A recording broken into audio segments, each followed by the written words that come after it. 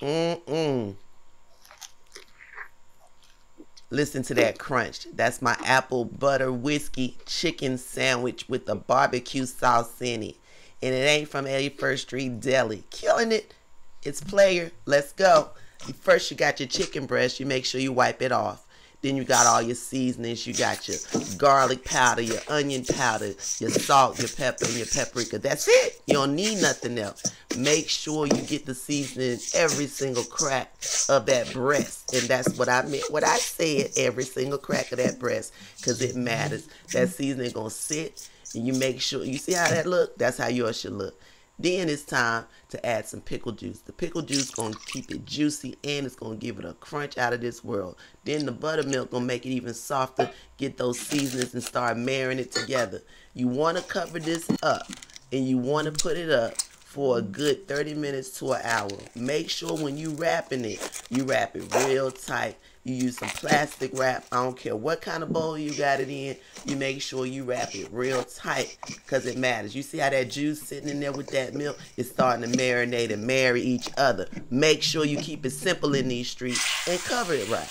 Now it's time to make the sauce. Yes, I said the sauce. This is where that apple butter whiskey come into play. After you put in that tomato juice, you add your little brown sugar for the sugar. You know what I'm saying? Then you put your little salt in there because you just need just a tad. And definitely the recipe is in details. In the details, make sure you check that out and follow and subscribe while I got the time to say that. Throw in your little garlic. You mix it on up because that's the base of your barbecue sauce. Then you want to just start to mix it because now you want to get all these seasonings that you just put in into this ketchup and start creating your barbecue mixture. And so the base becomes the ketchup, the garlic, the seasonings that you put in here. But you can see you still are caramelizing that brown sugar and it's coming mixing down with the garlic and all those flavors are coming together and they're looking good. You can see the color changing in the barbecue sauce as well as you can see the garlic coming through, right?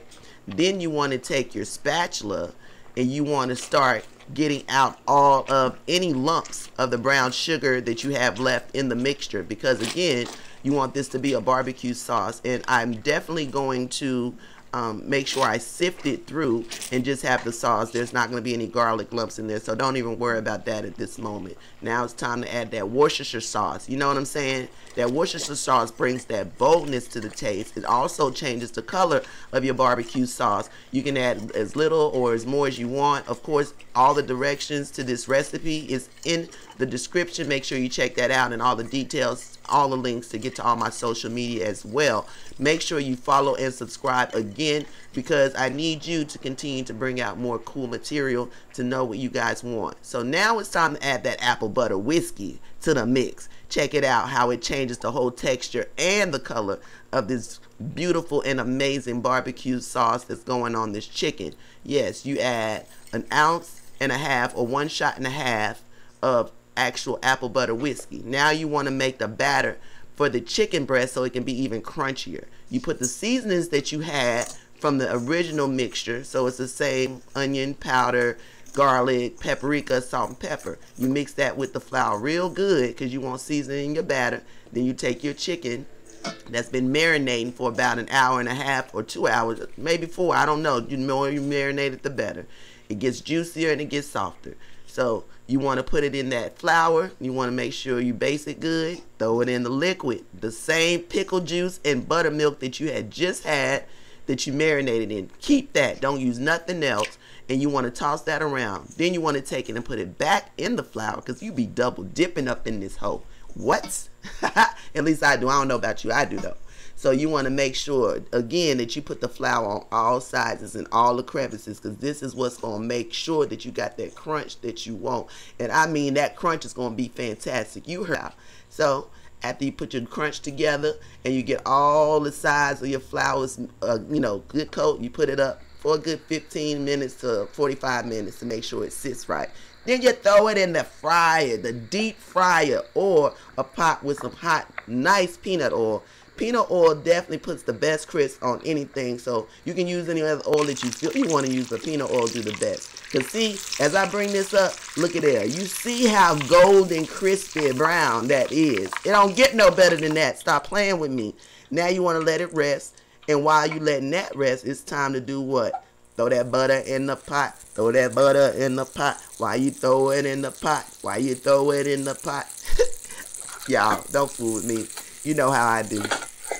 You got to make sure you toast that bread. That's what you throw it in the pot for. Because now it's time to make sure that bun is toasty on that bread. So what you do is you get a brioche bun and you throw that butter in the pot and then you take both buns and you slap them in a pot face down, the bottom and the top, and you let it sit in there for a good three to five minutes, you know, on medium low because you want a nice toast. You see how they look? Yeah, you want it like that, even toasty if you like. You know what I'm saying? It's up to you. Then you want to gently put that bird on that bread. you heard me put that bird on that bread. Oh, did I just slap? This is some food porn for real. Then I damn slap another pickle on there. Oh, yes, I did. Y'all stop playing with me. I have, ooh, good lord. Wait a minute. Get wet. Yes. Ooh, get wet. Wait a minute. Yes. Is that that apple butter whiskey barbecue sauce going on that sandwich? Oh, yes, it is. Look at that color. Look at that cherry red color. Yes, Lord. Go ahead. Throw it down. Mm. Yes. Wipe me down. Ooh. Good Lord of Jesus. When I tell you it was just the right consistency and it fell over every corner. Ooh, and that's why you put all the, the, the flour on the breast so it can be crunchy and have all the crevices. And then you take the sauce and the sauce just goes in every crack and crevice. And when you take that first bite, baby, mmm, stop playing with me. So now chicken breast, you know what I'm saying, pretty nice and all of that we got to damn close this shit up because y'all y'all finna ooh do too much for you even eat it. Now it's time to slap that bun on it, baby. Push it down. Get your sandwich right. You know what I'm saying? Now I'm out because it's time, you know, girl, ooh, wait a minute. Check that out. Look at that. We do a 360 right quick. I'm sorry. We got to do the 360 right quick. Yes, sir.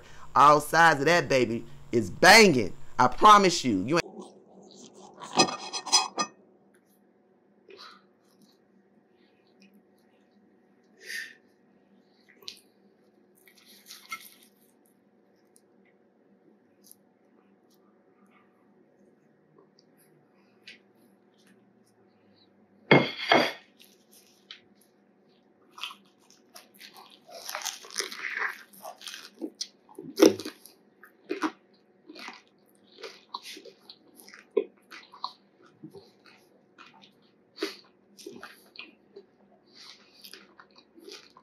Mm. Mm. Mm.